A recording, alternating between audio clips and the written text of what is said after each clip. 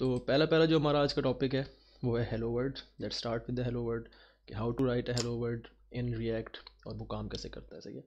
तो डेस्कटॉप पे मूव होते हैं. I will open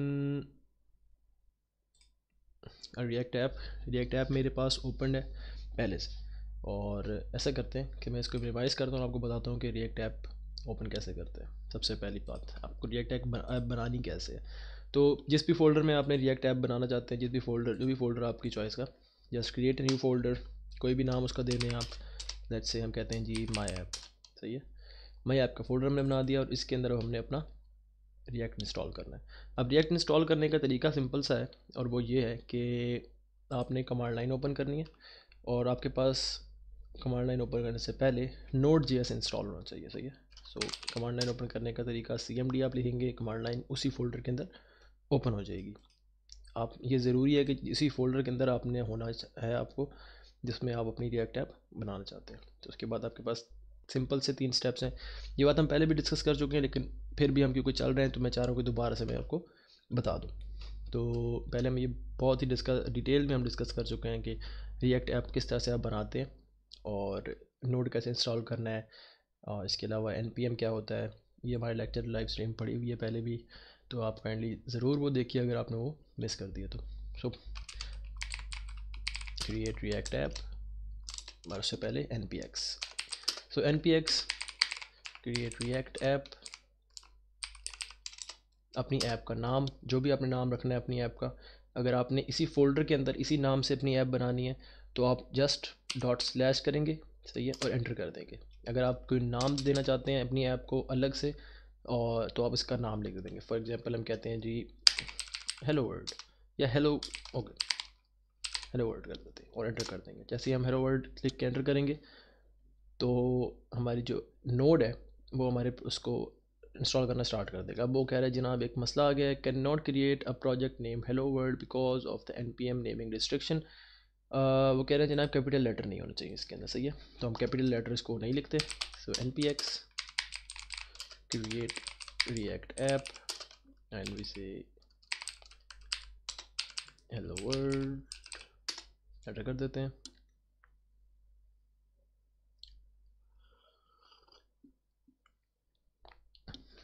और फिर हमारे पास जो हमारा एनपीएम है, वो हमारी रिएक्ट ऐप जो है इंस्टॉल कर देगा हमारे पास। मैं इसको अभी स्टॉप करता हूँ यहाँ पे। स्टॉप करने के लिए आपने कोई भी प्रोसेस है कमांड लाइन में कंट्रोल सी आपने प्रेस करना है और दोबारा प्रेस करना है एक बार और, कोई भी जॉब है वो टर्मिनेट हो जाएगी।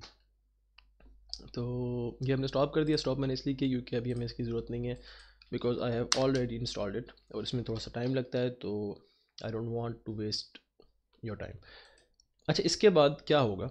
सीन ये होगा कि जब आप रिएक्ट ऐप इंस्टॉल कर लेंगे तो आपके पास इस तरह का एक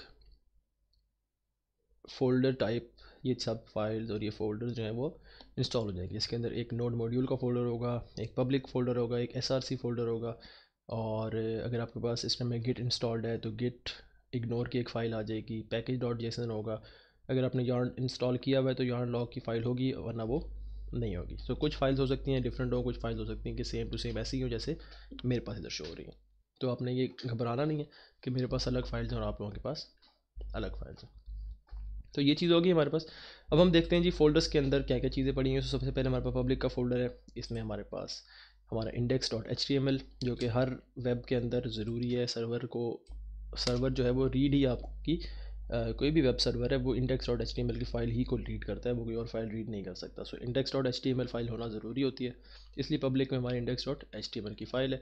इसके अंदर ये जनाब हेड टैग है मेटा डिस्क्रिप्शन लिखी हुई है। आपकी वेबसाइट का नाम डिस्क्रिप्शन और कंटेंट वगैरह, ये कुछ कमेंट्स दिए हुए हैं। इससे हमारा कोई ताल्लुक वास्ता नहीं है। सर, ये इधर आपका टाइटल है, अगर आप टाइटल चेंज करना चाहें टाइटल चेंज कर सकते हैं। और इसकी बॉडी के अंदर सिर्फ़ एक जस्ट रूट आईडी दिया हुआ है, ठीक है? रूट दैट्स इट और इसी आईडी के साथ हमारे जो रिएक्ट है वो अटैच्ड है। अब रिएक्ट इसके साथ अटैच कैसे हैं कि आप देखें इधर आईडी का नाम है रूट ये आपने याद रखना चाहिए। तो आईडी का नाम रूट है। अब हम पब्लिक के फोल्डर से बाहर आ जाते हैं और हम अपने एसआरसी जो हमारा मेन फोल्डर है, वो है एसआरसी इस फोल्डर में चला जाते हैं।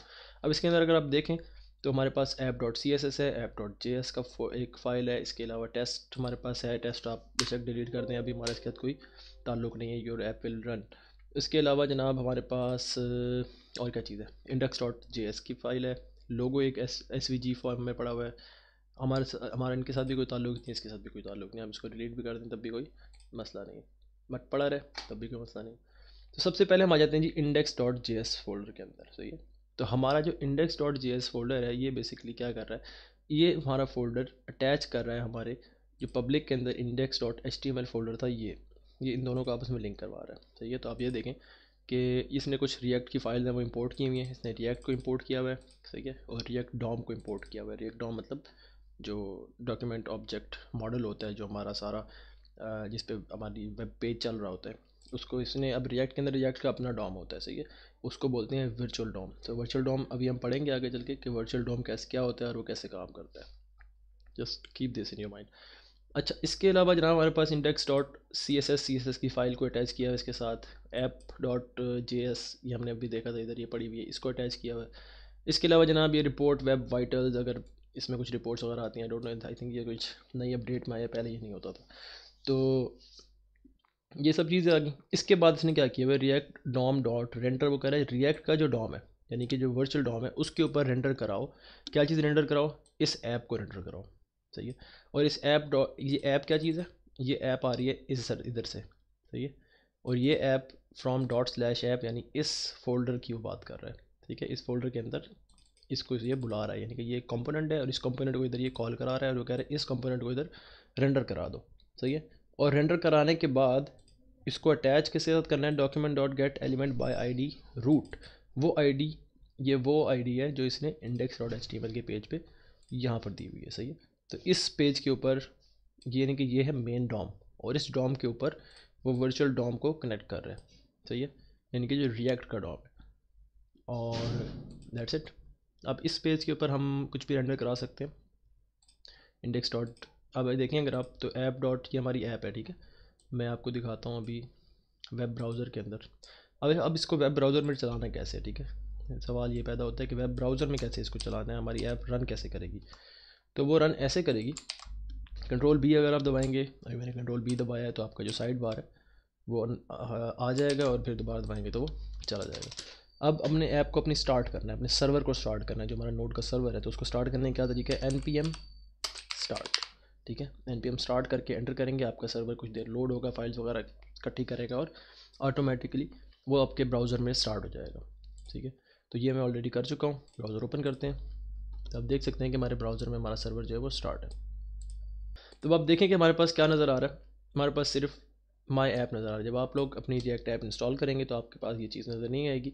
आपके पास इधर कुछ फाइल्स वगैरह होंगी, कुछ डिव होगा, एक पिक्चर होगी रिएक्ट का लोगो होगा, वो रन कर रहा होगा, घूम रहा होगा। आप उस सबको डिलीट कर दें बेशक करना चाहते हैं तो। आप देख सकते हैं इसमें हमारे पास सिर्फ़ माई ऐप आ रहा है पास लिखा हुआ आ रहा है, ठीक है? या फिर ऐप कॉम्पोनेंट भी हम इसको कह सकते हैं। हम इसको कुछ भी कह सकते हैं। Basically this is an app component so तो ये हमारा आ गया जी ऐप कंपोनेंट ये हमने इसमें चेंजिंग कर दी। अब हम अगर इधर देखें तो ये बाय डिफ़ॉल्ट खुद ही ये लोड हो जाता है। रीलोड करने की ज़रूरत नहीं पड़ती बट आई डोंट नो ये क्यों नहीं रीलोड हुआ। तो खैर, ये हमारा एक कंपोनेंट हमारे पास इधर रेंडर हो रहा है। मैं इसको थोड़ा सा बड़ा कर देता हूँ। नाउ अब हम जाते हैं अपने इंडेक्स के फोल्डर के अंदर, सही है? अब हम इधर चाहें तो हमारे जो कंपोनेंट है, हम उसको जितनी मर्ज़ी बार हम इसको रेंडर करवा सकते हैं, सही है? कोई भी कंपोनेंट हम बनाते हैं, कैसा भी कंपोनेंट बनाते हैं, उसको हम जितनी मर्ज़ी हमारी बार हम उसको रेंडर करा सकते हैं, ठीक है? और ये कंपोनेंट ड्रिवन प्रोग्रामिंग की सबसे ख़ास बात यही है।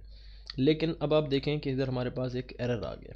अब ये एरर हमारे पास क्यों आया है? ये एरर इसलिए आया है कि अगर आप आई थिंक इसके पास यस इधर हमें बता भी रहा है do you want J S X fragment अब रिएक्ट के अंदर एक जो मेन बात है ना सबसे ज़रूरी बात वो ये है कि जब भी आपने आ, कोई भी चीज़ ऐड करनी है कोई भी कंपोनेंट नया ऐड करना है सही है? तो आपने ये ख्याल रखना है कि रिएक्ट काम करता है हिरारकी के अंदर सही है? तो वो कहता है कि एक पेरेंट होना चाहिए पेरेंट कंपोनेंट सही हो गया? और उस पेरेंट के अंदर बाकी जितने मर्ज़ी आप चाइल्ड डाल दें लेकिन पेरेंट सिर्फ़ एक होना चाहिए सही है? तो अगर हम फॉर एग्ज़ाम्पल हम इसको ख़त्म करते हैं और जस्ट इधर एक डिव बना देते हैं। सही है, ये हमारा एक डिव बन गया। और इस डिव के अंदर हम अपने सारे ऐप्स डाल देते हैं। तो अब आप देखेंगे। लेट मी रिफ्रेश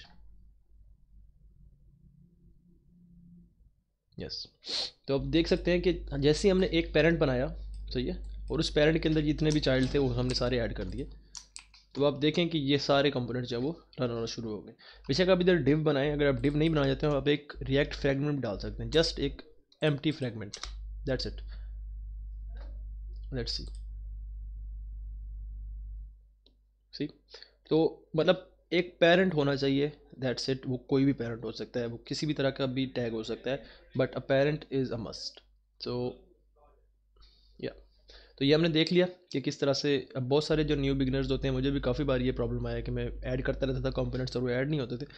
तो उसका जो मेन रीज़न होता था, वो ये होता था कि हिरारकी आपने बना के रखनी है, सही है?